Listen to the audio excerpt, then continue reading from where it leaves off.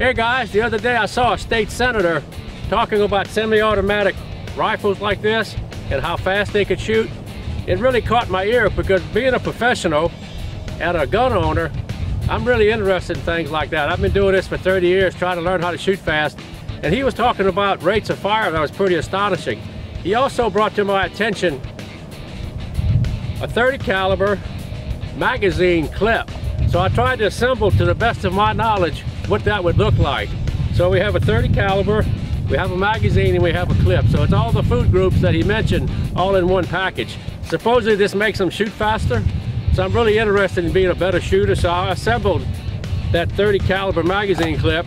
I'm gonna put it in my semi-automatic platform here and see just how many rounds I can shoot in half a second. He was talking about rates of fire that occur within a half a second. So I'm gonna try to do a half second burn here on that target. Here we go.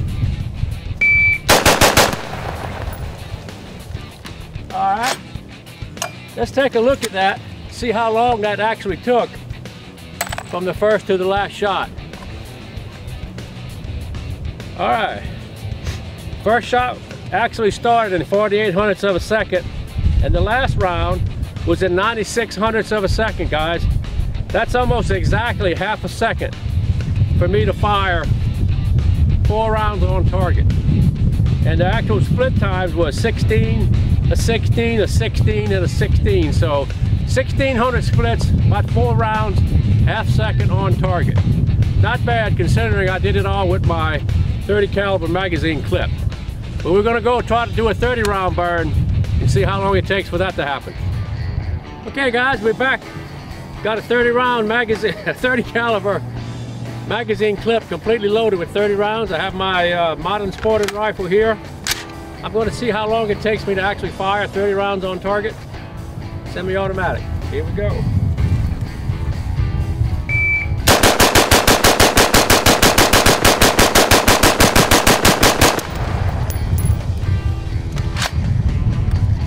So there it is guys. That's the best I can do with my fancy magazine clip here. Let's actually take a look at the timer and see what we did. We got 30 rounds on the clock. The start was 59 or 6 tenths of a second and the total time was a 5.3. So we're looking at a 4 4 point uh, 4.7 seconds to fire 30 rounds on target. We were down about 15, 16, uh, 1500 splits, had a 13, a 17. So they averaged out. Not really bad, but it's still, the whole performance took me right around 4.7 seconds. So apparently the enhancement of the 30 caliber clip on the magazine didn't make me a better shooter, so I'm kind of disappointed. But we've got other things to talk about. Hey guys, being a gun enthusiast, when I hear politicians talk about firearms, I, uh, I listen with an open ear. So I really I paid attention to this individual and what he was trying to say. He referred to a 30 caliber magazine clip. So I tried to assemble all that just the way I heard it. So this is a 30 caliber. Of course, of course, if you're a gun person, you already you already know that's an M1 Garand, fully loaded to eight rounds of 30 6 ammunition. And here I have also an M1 Garand clip, which no ammunition in it. And I have a magazine, happens to be a 30 round standard magazine. So I have all the things here that he talked about, but none of them really pertain to one another. So that really caught my ear. Also what I heard was rates of fire. And being a, an enthusiast and a competitor, when you talk about rates of fire, that's where I live. This is what I have to do. I have to beat the other guy. So he was talking about rates of fire, and he mentioned that it was possible on some of these platforms to fire 30 rounds in half a second. That's pretty quick, guys. So I did the math on that. That's actually 3,600 rounds a minute. And the only platform that I've ever heard of that could do such a thing is actual minigun.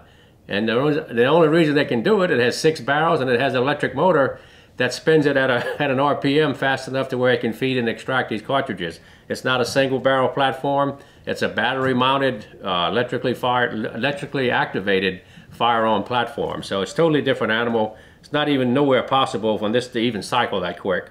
If you look in Wikipedia and you research the M16, which is a standard service rifle used by the U.S. forces, uh, they show they say anywhere from 700 to 950 rounds a minute.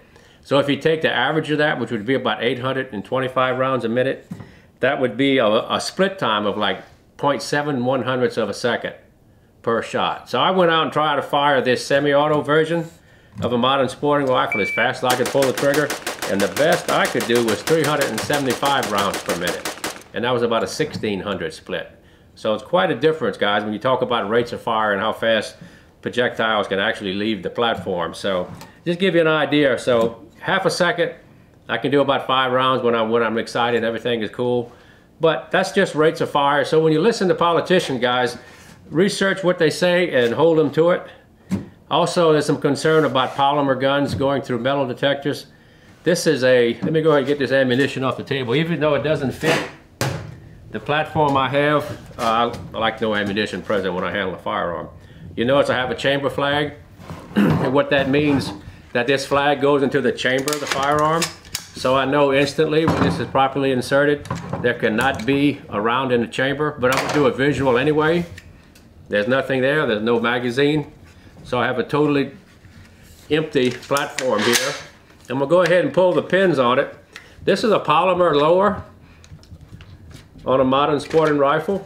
Give you an idea, a lot of concerns about this being able to go through a metal detector, but if you look internally there, of course, the hammer and the trigger and the safety and the bolt catch and the magazine release and the push pins, and more importantly, guys, all this subassembly, which is critical for this whole system to work, is metal. You have an aluminum buffer and you have a, a uh, spring here made out of made out of spring steel. So there's a lot of a lot of metal present in this polymer lower receiver. This is a perfectly legal, serial numbered with a metal plate embedded into the polymer. Totally legal platform to own. Um, they were manufactured some years ago. This is just one example of it. So everything here is legal, but you can see by the amount of metal present, even the screws and the buttstock, guys. Of course, that's metal. So this will not pass through any metal detector. And it's a polymer made, totally legally manufactured, licensed lower receiver. So a lot of metal present. So when you listen, guys, keep your ears open. You'll be surprised what you hear. I'd like to invite you to subscribe to miculek.com. Like me on Facebook. You'll see a link in the, in the description box below. And also keep posted, guys. We got some really fun stuff coming. Thank you.